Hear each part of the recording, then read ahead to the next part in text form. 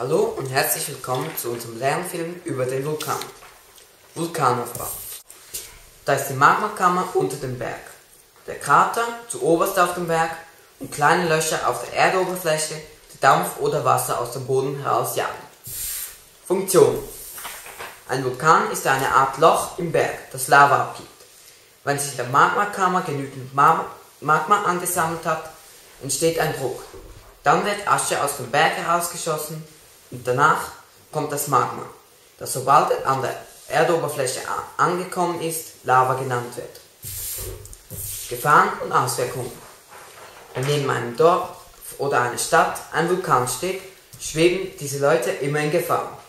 Denn wenn ein Vulkan ausbricht, passiert das.